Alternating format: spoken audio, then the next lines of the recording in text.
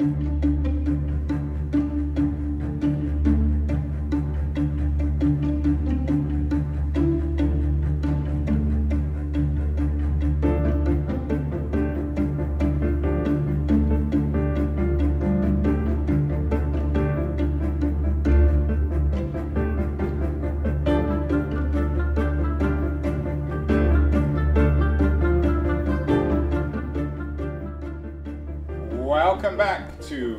to Fix Democracy, uh, the show about the future of democracy. We're in our fifth season, and this uh, this year we're focusing on 100 years of American democracy from 1924 to 2024. If there is a single individual who perhaps has shaped American democracy for the better, some people might suggest for the worse over the last hundred years. It's Franklin Delano Roosevelt, FDR as he's popularly known. We're thrilled today that we have the former director of the FDR Library, um, Paul Sparrow, on the show. Paul is currently working on a book about uh, FDR and democracy, so he's an ideal person to think about FDR and American democracy. Paul, welcome to How to Fix Democracy. Thank you for having me. Paul, easy question to kick off with. How important do you think FDR is um, in the survival of American democracy over the last hundred years? I think it's arguable that he is the most important American uh, in the pres preservation of democracy as we know it today. Uh, and I would think part of the success he had was because of his wife, Eleanor Roosevelt. Uh, and as a team, uh, they were remarkably effective in communicating why democracy meant, why freedom was important, but more importantly, they basically changed the relationship between the federal government and its citizens. How close did democracy come to falling into profound crisis uh, in the early part of the 1930s? because of the Great Depression? I would say it was in existential crisis on March 4th, 1933, when Franklin Roosevelt was inaugurated president. Uh, the banking crisis alone uh, had American capitalism and American democracy teetering on the brink of disaster. Uh, and there were a lot of people who were questioning whether democracy itself could survive. You saw the rise of fascism and totalitarianism and communism in other parts of the world. Uh, and there was a real question whether democracy worked anymore. Um, and I think America was particularly vulnerable to this because of the nature of the previous administrations. Um, you know, for 12 years, uh, the laissez-faire Republicans had been uh, running the country. They believed their job was to help big business and to help the banks and that they had really no responsibility to help the common man. Uh, and so when the system collapsed, when the banking system collapsed and people were desperately trying to pull their money out and when the banks didn't have the money to meet the demand, the banks would close and they would fail and people couldn't get their money out. The whole industrial complex collapsed. This was a moment where the laissez-faire Republicans had no answers. They didn't know what to do. Uh, their philosophy had always been, well, just wait and the market will correct and everything will bounce back and be fine. And of course, after three years of this catastrophic economic uh, collapse, uh, democracy was really potentially fatally flawed. Uh, so when President Roosevelt be became president, I mean, the first thing he did, almost literally, this first act as president of the United States was to close every bank in America. Now, he called it a bank holiday, which is a lovely term. Uh, it certainly makes it seem happier, but he closed every bank in America, and they stayed closed for over a week. And this was because he needed to have the time to reorganize the very nature of the relationship between banks and the federal government. And then uh, they decided they were going to reopen the banks on March 13th. And then the night before, he did a fireside chat, which really sort of underpins his entire success as a leader and as a politician, which was that he changed the way the presidency communicated with the American public. Paul, I, I, want to get on to communications and the, the full gamut of the FDR presidency. But I'm not sure everyone would agree with you in terms of this very clear distinction you make between FDR and the previous three of the 20s. We've done shows on Coolidge, and perhaps you're right in the sense that Coolidge was hostile to any kind of government involvement in, in, in the economy. But we also did a show on Herbert Hoover, uh, who was a very distinguished engineer and a war hero, not a war hero in a military sense, but a war hero in the work he did to alleviate um, famine in Europe during the First World War. Hoover himself, uh, as Richard Smith uh, argued in our conversation, was not as foreign to the New Deal or FDR as, as some people might suggest. Is that fair, or you think that that's Republican propaganda? Well, the facts are pretty clear on this. Um, after Roosevelt was elected in March, you had this long interregnum time uh, from early November till early March when Hoover was president and Roosevelt was president elect. And Hoover used this time to try to persuade FDR to abandon the promises he'd made in the campaign, to try to abandon his plans for the New Deal. And there's extensive documentation about this. As late as February, late February, he hand wrote a note to FDR, had it delivered by a Secret Service agent directly to FDR, essentially begging him to support Hoover's policies, which were the antithesis of what FDR had campaigned and won the election on. So we know that he opposed New Deal policies, he opposed FDR's ideas right up to the last minute, and was furious that FDR wouldn't agree to support Hoover's policies. So the evidence is overwhelming that he did not support the New Deal, and in fact felt that Franklin Roosevelt was an idiot. You mentioned this interregnum, Richard Smith also acknowledged as, as Hoover's biographer that it wasn't his finest hour. Was this a crisis of American democracy where you had an outgoing president and an incoming president and they essentially refused to communicate with one another?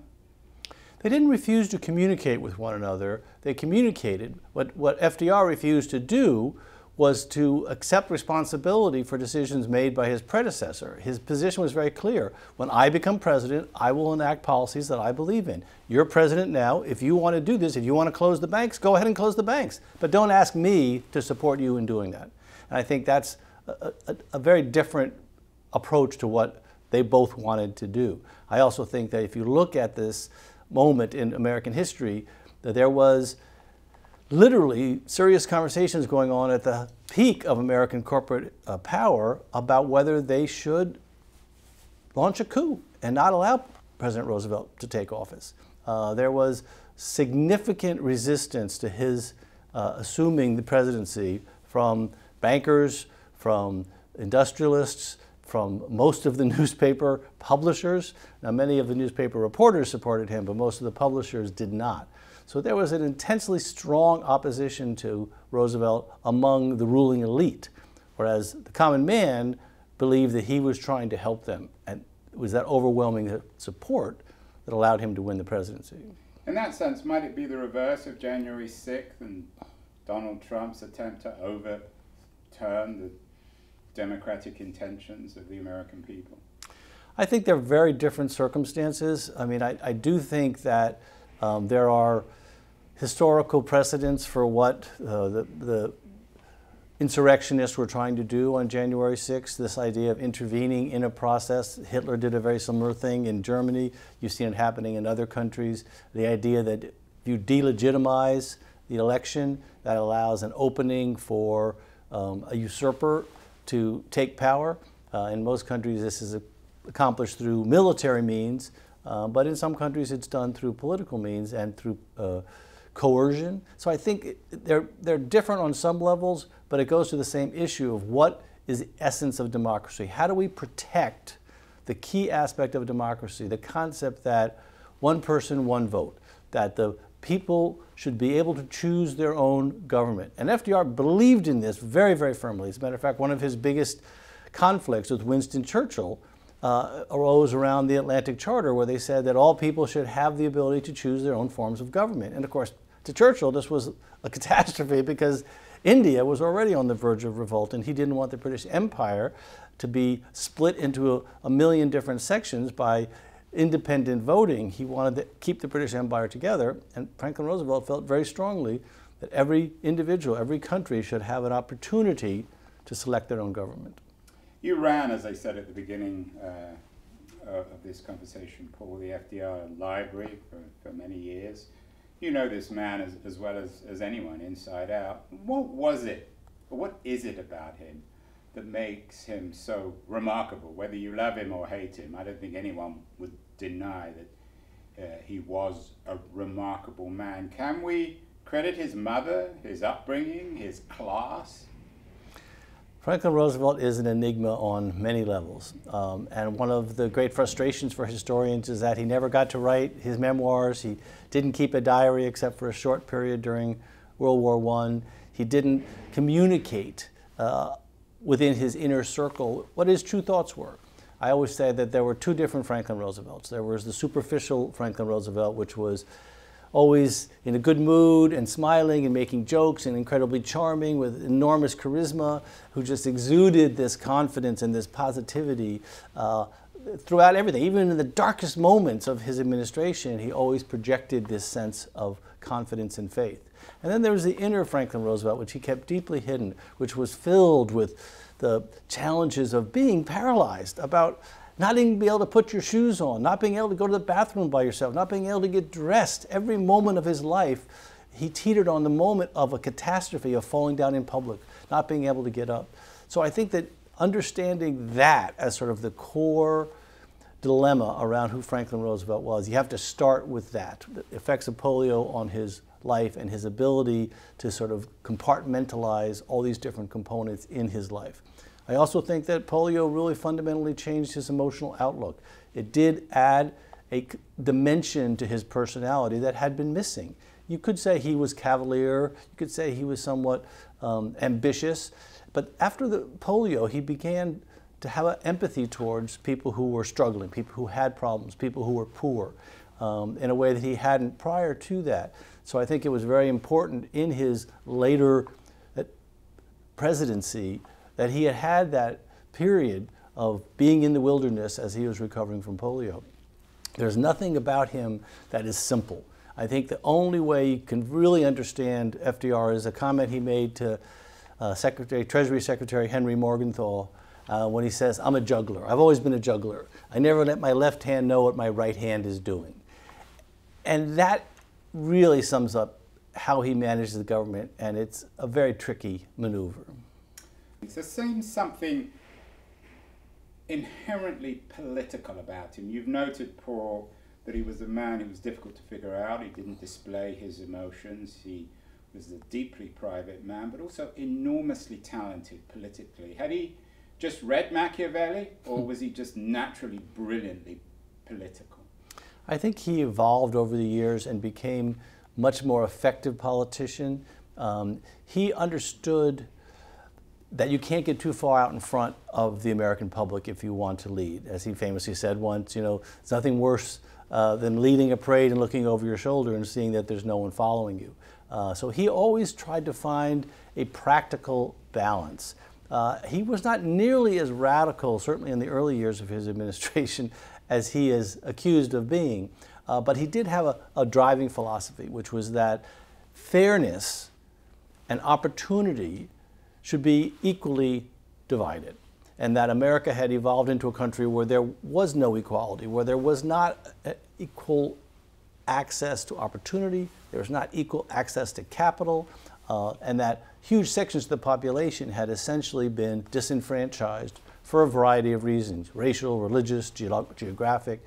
And so, what he wanted to do was to find a way to make society fairer so that the people who needed help could get help, that the government would take on that responsibility. A responsibility that the federal government had never accepted in the past, and certainly one that Herbert Hoover adamantly opposed. And then he was not ideological, he was practical. He wanted to find solutions. I mean, one of the common traits you see in his administration is that he would appoint two people to essentially the same job and then see which approach worked better. Um, as he said, you know, the American public demands action and action now. Uh, and he knew that we had to try something. If it didn't work, try something else. But that forward momentum of doing things, if they don't work, abandoning them, you know, some of his most significant uh, early legislation from the first hundred days, you know, within years the Supreme Court had overturned them and ruled them unconstitutional. Uh, and he was already working on how do you rework this? How do you keep the concept of fairness? How do you provide opportunities? How do you create jobs? How does the federal government create jobs for people? And he came up with some brilliant ideas. The Civilian Conservation Corps, you know, where millions of young men were put to work. These men were literally starving, and yet put them to work, a dollar a day, $30 a month, $25 goes back to your family, you get to keep five, we'll put you in these barracks, we'll give you food and housing. Um, and those people who worked in the Civilian Conservation Corps, many of them went on to become important leaders during World War II. Paul, you mentioned uh, Hoover again. Hoover, of course, was a self made man born into poverty, really did indeed create himself. Roosevelt didn't. He was born into privilege and he led a privileged life, for better or worse. Is there a connection, do you think, between his recognition of the flaws of American democracy and his aristocratic background, did he recognize that contradiction? And might it require an aristocrat to recognize the, the, the, paradoxical nature of American democracy? I think that's a great question, and I think it goes to the great enigma of Franklin Roosevelt. H.W. Brands wrote a beautiful book, uh, Traitor to His Class, about Franklin Roosevelt and about this issue that so many of his peers, especially his mother's peers, really didn't understand why he was trying to ruin their lives. Their lives were perfectly good. Who cares about these poor people? Who cares about these immigrants? Who cares about these refugees? Why are you attacking us, your people? The traitor to his class. And I think for Roosevelt, it wasn't so much a class issue as it was a fairness issue. Was, uh, aristocrats, not great fans of FDR, suggested there was, that he was a socialist. Is there any truth to that? It, the, the term socialist and the term communist and all of the um, critical insults that were lobbied against FDR are based on attempt to create political damage. Um, socialism is a very specific form of government. Um, now you could say that Social Security, for example, is a tenet of socialism, the idea that uh, if you pay into a certain form of governance, that that government then has a responsibility to take care of you when you get old or when you get injured, you can no longer work. But that really isn't socialism in the larger sense of what socialism is. Uh, I think both fascism, communism, socialism are all areas in which you are trying to diminish the role of the individual in the process of government. FDR believed the exact opposite. He believed in empowering the individual to choose their government, to select how they're represented, and to move the country forward in a way that the maximum number of people will benefit from the government's policy, not the minimum number of people, which had been the practice in the past. Another criticism, and, and you know all the criticisms much better than I do, Paul, is that he was a man greedy for power and often the chapter around the Supreme Court is, is, is dredged up for that. Did he always respect the norms of democracy, or if uh, was he eager to establish an FDR style, if not authoritarian government, certainly a government which wasn't in the spirit of the Constitution? I think FDR wanted to find a way to make the American government more responsive. Uh, his frustration with the Supreme Court uh, was very specific. These were, uh, you know, nine elderly gentlemen who had been fairly disconnected from the reality of society, um, and the country was facing a crisis. And like Herbert Hoover, the Supreme Court were applying old rules to new problems. Uh, I think attempting to pack the court was one of his biggest political mistakes of his career, um, and it was almost immediately rejected by his own party as well as by the voters. But I think what he was trying to do there is find a way around an obstacle which was preventing the implementation of what he thought were policies that would help a vast number of Americans. And they did. I mean, the, you can continue to have the argument, you know, some say Hoover said for the rest of his life that FDR's policies, you know, prolonged the Great Depression. And yet every year he was president, the gross domestic product went up. Every year except 1937, unemployment went down. Every year that he was president, the quality of life for a vast majority of Americans improved. Now, it was starting at a pretty low point, but there's no question that his policies were making a significant change. Obviously, once the war started and the industrialization of American uh, manufacturing to create uh, weapons of war, you know, unemployment went essentially to zero. But throughout that period, everything that he was trying to do, including challenging the absolute, power of the Supreme Court, was designed to try to find ways to make the American government more answerable to its people. Uh, I don't think he wanted to be some great dictator. As a matter of fact, he constantly talked about why it was important that the American system worked, that he believed in the American system. He was trying to preserve democracy in the face of this. Um, you know, when the big debate arose in 1940 whether he was going to run for a third term, and the press had made fun of him as the great sphinx, you know, because he wouldn't reveal what his intentions were. I personally believe that until really late 1939 and, and really until May 1940, when Germany invaded France and Netherlands and Belgium, that he wanted to leave office. I mean, he was building his presidential library in Hyde Park starting in 1937 and 38. It was scheduled to open in June of 1941 because he assumed he was going to leave office at the end of January. So I don't believe he wanted to create some kind of, you know, royalty, some kind of dynasty, some kind of, you know, dictatorship that he would be in charge of. But I do think he wanted to ensure that American democracy survived this onslaught of totalitarian and fascist aggression which was happening around the world. And that's why he actually ran for a third term. History is, of course, repeating itself in, in all sorts of odd ways in the 2020s. Paul, uh, in one way, you talked about a Supreme Court being out of touch with uh, the ideas of the American people. Is history repeating itself in that sense? Is the crisis perhaps of the Supreme Court, particularly around abortion, is that reminiscent of the age of FDR? And what would FDR have made of it? Well, I think most people don't understand the history of the Supreme Court. First of all, there were not always nine Supreme Court justices. The number of justices has fluctuated throughout time. Uh, and, and, originally, the number of Supreme Court justices was determined by the number of federal districts. Um, and when they expanded the country, more Supreme Court justices were added. We now have 12, so we could easily say that there should be 12 Supreme Court justices based on historical precedent. But I think more importantly, you have to understand that the role of the Supreme Court uh, was decided by the Supreme Court. if you look at the case with Marshall, uh, when he was Supreme Court Justice, he said basically, well, we have three branches of government. We're going to make sure that the Supreme Court is the one who decides what's constitutional and what's not. So that nature of that power, which has evolved somewhat over the years, has always created conflict. There's always been controversy around the Supreme Court. If you think about some of their terrible decisions, the Dred Scott decision, I mean, they, made a lot of really bad decisions over the years. And the politics of the court has always been, shall we say, fraught. But there was a certain expectation of a quality of jurists. You know, these people were supposed to be deeply immersed in either legal or political foundations of American democracy. And as they served on the Supreme Court, first of all, few of them served for 30 or 40 years like you're starting to see now. And although there was always a political element to who was appointed to the Supreme Court, it had nowhere near the sort of partisan intensity uh, that you see today. And so I think the court itself has undermined its authority um, as it had during the Roosevelt administration, but in a different way.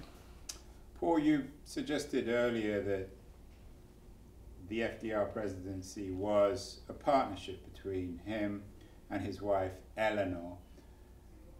Tell me more about that. How central was Eleanor to the New Deal, to the FDR presidency? Would it have been profoundly different had she not been around? In my opinion, Eleanor Roosevelt was the conscience of the administration. Um, Franklin Roosevelt was pragmatic. He was trying to get things done. He was trying to balance uh, his coalition, which was very complicated. You had these racist Southern Democrats who controlled most of the major committees in Congress. You had this Northern labor union movement, and you had an increasing involvement in black Americans uh, switching from the Republican Party to the Democratic Party. And he had to try to hold this coalition together when they had radically different agendas. Um, so I do think there's a component that Eleanor brought to this, which was that she made the black American community feel as though she really cared about them because she really cared about them. She went out of her way. You know, she fought for years for federal anti-lynching laws, a law that FDR refused to endorse because he knew if he did, his Southern Democratic uh, congressmen and senators would essentially um, stymie any of his New Deal legislation.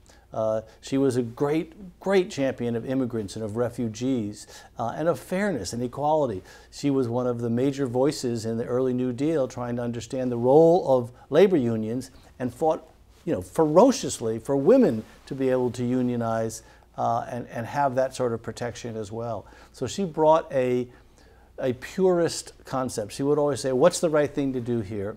Whereas FDR would always say, what can I get done? Uh, and again, her impact on FDR goes back to their earliest days when they, before they were even married, when she took him to the settlement houses in New York where she worked and showed him how these immigrants were living, you know, 20 people to a small room in these horrid conditions in these tenements. And FDR was shocked and said, I can't believe people live this way. So she started him on that path of opening his eyes to the reality of poverty, of immigration, of inequality, uh, and then throughout their marriage, although their marriage was obviously deeply flawed, uh, after FDR had had an affair in the 1918, 1919 uh, period, um, and they were partners much more than they were lovers in the traditional sort of marital sense. Uh, and I think that her role, he always respected her, he used her often. He would send her out to do something, and if people criticized her and said, Why is your wife out visiting prisons? Why can't you control her? And he would just say, Oh, well, she's my missus, I have no control over her. And that gave him a way to, to feel out is that policy going to get a lot of pushback? Can we move forward in that direction? And she was very valuable to him in that way. Wasn't it very convenient, though, for FDR to have Eleanor as his moral conscience, particularly for example, uh, in the context of the issue of African American political and economic rights, not much changed under FDR. Of course, the excuse was that he couldn't maneuver his way around the southern racists who you've already mentioned. Uh, you're obviously a big fan of FDR, but there is some area where one can criticize, particularly when it comes to race, isn't there, Paul? Absolutely. Um, I think it's important to understand both his cultural context, um, what the average American believed at that point, what science believed at that point, which was that uh, blacks were inferior to whites. Um, there was a whole science around this, um, that most Americans were anti Semitic, uh, they were anti immigrant, they were um, certainly feeling superior to blacks and didn't really think they deserved equal rights. So that was the con- that was the cultural context at that moment. Uh, I think, you know, FDR's refusal to support the anti-lynching laws, I think, goes to the moral dilemma which he faced, which is that he knew federal anti-lynching laws was the right thing to do, but he didn't think he could accept the political damage that it would cause. Paul, Roosevelt was a master of modern media. Many people see him now as the first real modern American president because of his mastery of, of radio and then even of television. Uh, and, and in that sense, he contrasted dramatically with Herbert Hoover, who was enormously awkward uh, with any kind of media. How aware was Roosevelt of media and of new technology in terms of building this image, this brand uh, as this modern CEO like figure in America? Franklin Roosevelt's use of media was both unprecedented and inspiring as a way to understand how he could communicate with the American people. Uh, now, he had learned about the power of media uh, newspapers when he loved to brag about the fact that he was a journalist because he was the editor of the Harvard Crimson when he was in college. Uh, and he always sort of sided with journalists in a lot of these issues. And he had, during his administration, 997 press conferences. 997 press conferences, more than almost all other presidents combined. And he would do particularly in the early days before the war started, two a week in his Oval Office where 50, 60, 100 reporters would come into his Oval Office. And he would have these informal meetings with them where he would tell them what they could report, what they could attribute to him, what they could, and what was off the record. And so he was using the print media, which was, of course, the dominant media of the day, to help shape public opinion, oftentimes in a way that couldn't be traced back to him. But he also wanted that personal connection. He wanted to use radio as a way to communicate with the American public in an intimate setting. Now, if you listen to his recordings of his speeches, say, his great, you know, his first inaugural speech, where the only thing we have to fear is fear itself, or his campaign speeches, uh, like a lot of people at the time, you're using the radio at that point as a megaphone. You're using it to reach the people in the back of the hall, to reach as many people as possible. If you listen to the fireside chats, they're completely different. He's seated often in a quiet room. Uh, they use the diplomatic reception room for these. He would speak as if he was talking to one of his neighbors sitting across the kitchen table. He would speak in a calm, low voice. He would rarely raise his voice. He would use the thousand most commonly used words. He would explain things in very simple ways. Uh, in, the first inaugural address, or his first fireside chat, he says, you know, it is safer to keep your money in a reopened bank than under the mattress. Now, it's a simple image everybody can understand, but why it was so effective is because people were keeping their money under their mattresses. So he was able to relate to people in this intimate way. And families would sit around the, the radio and listened just intently. Uh, some of his radio broadcasts attracted, you know, 75 or 80 percent of the Americans to listen to these broadcasts. So he used it very, very effectively. Eleanor Roosevelt also was brilliant at using media, both print and radio. Not only did she do a lot of radio broadcasts, but after 1935, she had a six day a week newspaper column that appeared in hundreds of newspapers. And oftentimes it was sort of light. I had lunch with this person at the museum, and we went to this show, and we did this. And then she'd sneak in, by the way, America's educational system is grossly unfair to blacks, and we need to build better schools for blacks in the South. The same column, you know. So both of them, with different agendas, used media in a way no one had ever used before. And certainly Eleanor Roosevelt completely redefined the role of the First Lady uh, and was criticized for it because she was paid for these things. Almost all the money she made she gave back to charity, but it was a controversial area. I don't think you see a more effective president in terms of the use of media until John F. Kennedy and Ronald Reagan. I think those three presidents are essentially responsible for uh, the evolution of the presidency as a media platform.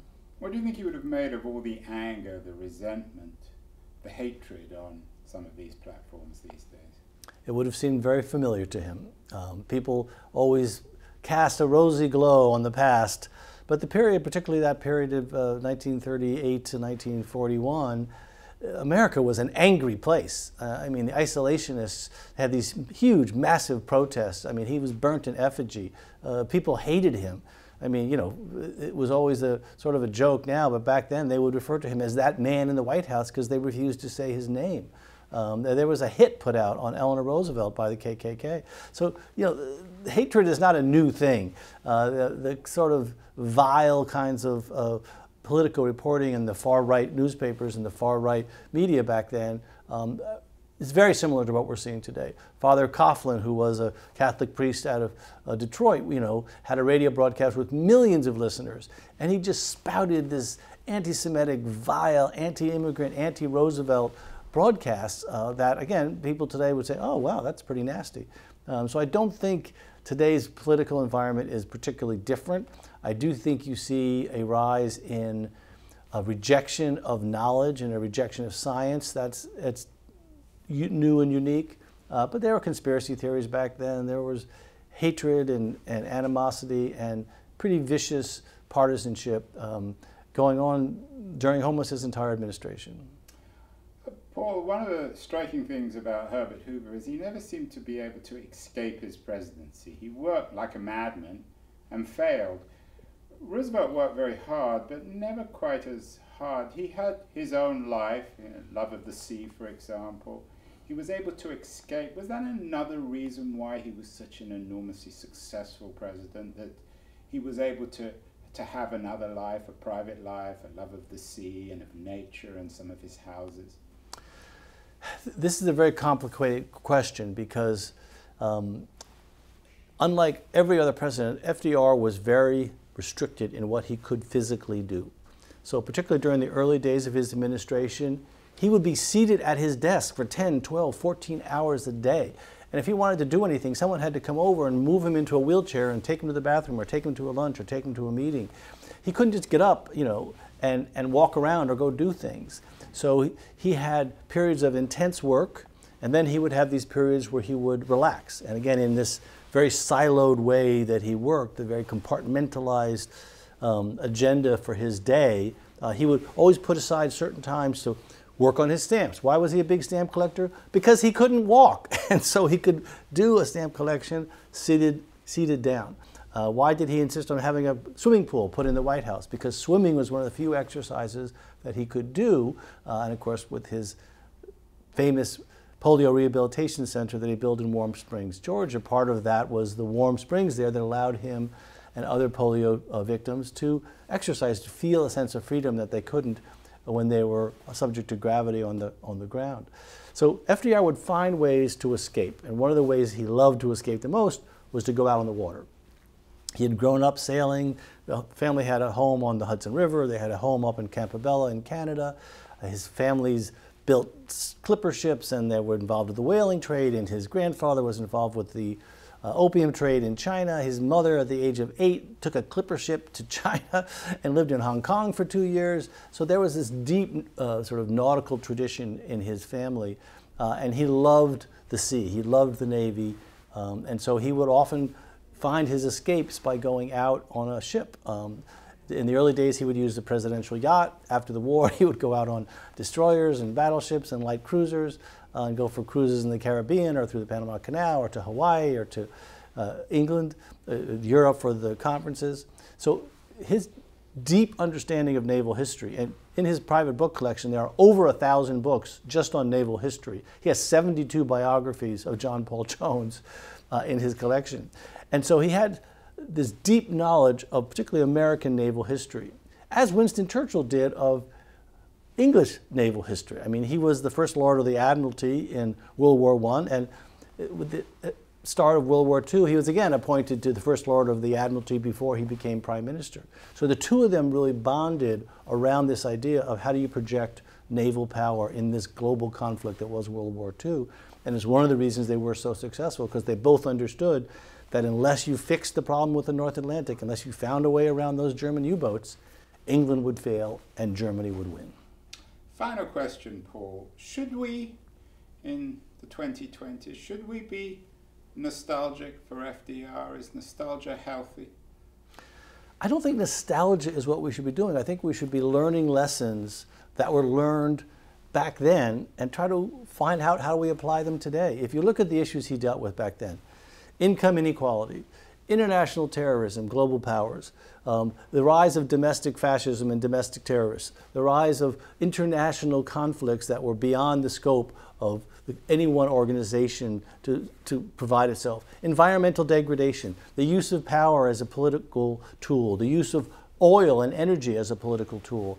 Uh, these are all things that they dealt with then, and we can learn from what he was doing and how he addressed those problems, sometimes successfully, sometimes unsuccessfully. Uh, that's the book that I'm trying to write is about how was he so persuasive? And it, he was persuasive because he always built up from the bottom. Here's the situation. Here's what's going on. Here's what we plan to do about it. Here's what I need you to do to help me. And so that pyramid that he would build would allow the public to get involved and to help correct mistakes that were directly impacting them. And I think those are lessons that we can learn today. He, he had very fractious uh, political environment that he was dealing with. Yes, he had supermajorities in both houses of Congress for many years, but those supermajorities were very ephemeral because half of them, you know, involved Southern Democrats who disagreed with most of his policies. So I don't think we want nostalgia for some golden era because it was a terrible time to be alive, but I do think there are lessons to be learned.